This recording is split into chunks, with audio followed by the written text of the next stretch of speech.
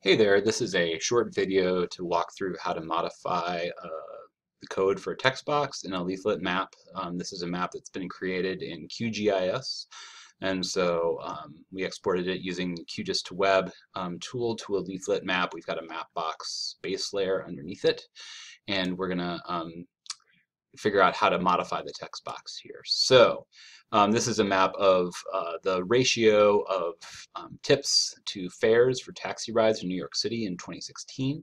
And you'll see if we click on a um, text box right now, we just got a list of numbers. Um, we can tell what some of these, these look like Latin long coordinates. We can see what they kind of are, but then some of these other numbers just don't make sense. And so we want to make this something more intelligible. Um, you could do this in QGIS. There's ways to modify things in the QGIS web extension before you do it. What we're going to do is take a look at it as um, a coding problem. So this is the underlying script. If I go to uh, the folder that has um, these web files, you'll see there's a lot of different stuff in here.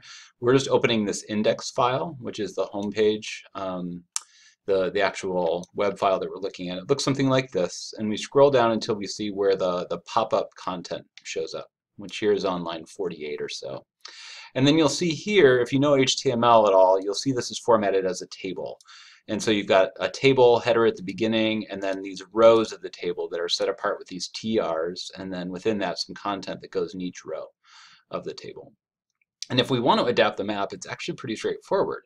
We go into this quoted area right here that has um, some HTML code and nothing else right now, and we can say add a header. So here we've got the, the left field, which we don't really want um, listed. So this just returns, this part returns whatever the value is in the column that has a left at the top.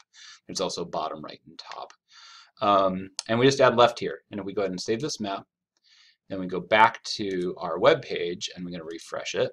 And if I click on here, I'll now see left is listed here, right? And it's, you know, not ideal. It's still a little wide. We'll, we'll deal with that. Um, but if I go back here, I could, for instance, make this bold. You can make it bold by um, just adding a B here and then a slash B here to end it. Um, you can look up HTML basics if you want to to figure out how to do this. So now when I go back to this map, if I click on here, now I've got left is bold. Okay, we're getting there. If I wanted to really um, do some stuff with it, I can just get rid of a bunch of these rows. So what if I only want the count of fares, um, which is going to be down here. Tip fare count is what I want. And make sure you keep everything when you're doing this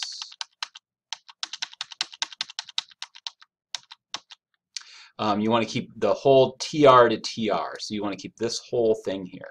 So I could, for instance, do bold count of rides like that. And then I've got tip fare count, which is the field that I've got that's got the count of observations.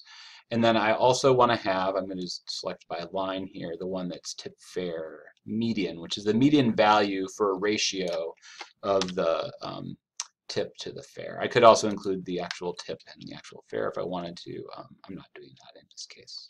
Um, so, like the median tip and the median fare, something like that. So I'm going to do this. Uh, ratio of fare to tip, or tip to fare. Something like that. Actually, not this median ratio of tip to fare for all rides. I'm going to get rid of all these other numbers here that I don't really care about.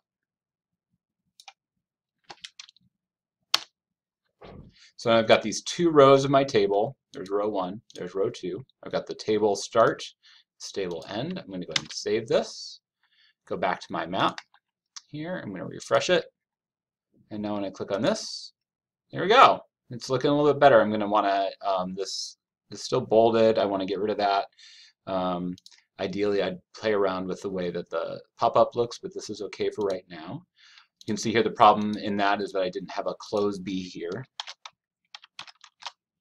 Slash B will get rid of this.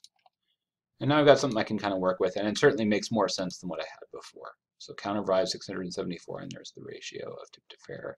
I could try to um, edit down this number and make it smaller, and that might work a little bit better as well. Um, but this works for now. So you get the basic idea. There's all sorts of other stuff you can edit in here if you want to, in terms of the way that the pop-up um, looks. You could change the max height. That's where you, I think this is where you would change the, the width of the pop-up as well. But for now, this works okay. Um, so hopefully this is helpful.